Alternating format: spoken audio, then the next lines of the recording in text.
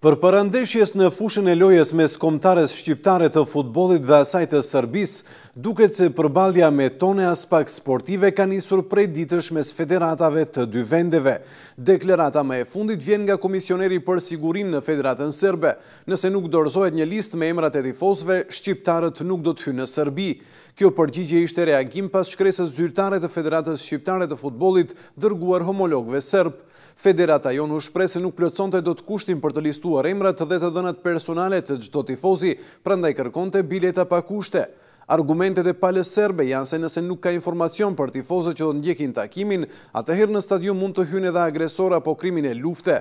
Madje ka edhe aludime në mediat serbe se Shqipëria mund të dërgojë qëllimisht persona nacionalistë për të provokuar situatën. Federata Serbe ka lëshuar edhe një ultimatum se nëse deri të premten Federata Shqiptare e Futbollit nuk dërgon emrat e mbajtësve të biletave, gjë që është në linjë me rregullat e UEFA-së, nuk mund të garantohet siguria e tifozëve shqiptarë dhe me këtë gjë do të merren autoritetet. Milivoj i ka hedhur edhe më shumë benzinë zjarrit duke deklaruar se nëse tifozët shqiptarë do të djegin flamurin serb, ata do të arrestohen, do të shkojnë përpara gjykatës dhe më pas do të burgosen.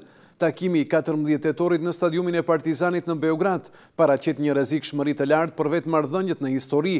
Federata Serbe i trembet përplasjeve të dy tifozerive, duke këmbëngulur sidomos që të mos ketë tifozë nga Kosova, por vetëm nga Shqipëria në këtë ndeshje.